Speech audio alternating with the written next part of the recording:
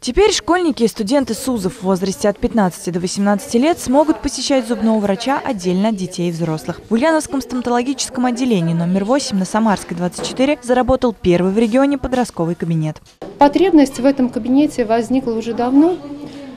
Мы стараемся открытием этого кабинета разгрузить детскую стоматологию и приблизиться больше к подросткам. В нашем кабинете будут работать высококвалифицированные врачи. Оба доктора будут работать с высшей квалификационной категорией.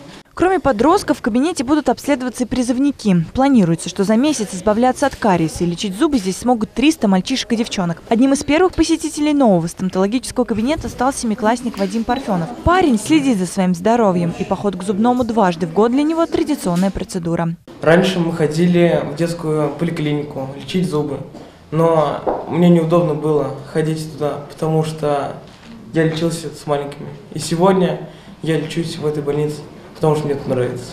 А вот для кого-то поход к стоматологу – настоящий стресс. Жительница Ульяновска Гузель Ганюшкина с трудом переносит процедуры. Но с открытием в Ульяновске наркозного кабинета, считает девушка, все будет по-другому. Ведь теперь появилась возможность лечить зубы под общим наркозом. Очень много людей, как мне кажется, боятся лечить зубы. И только из-за того, что это больно, они не идут. То есть вот опять сейчас терпеть все это. И поэтому стоит открывать. Спросили про противопоказания, то есть там какие-то ограничения есть. Вот у меня нет ни никаких ограничений, никаких аллергий. Новый наркозный кабинет заработал с 1 ноября и расположился на первом этаже стоматологического отделения номер 5 на железнодорожной 19. Показаний к общему наркозу у нас очень много.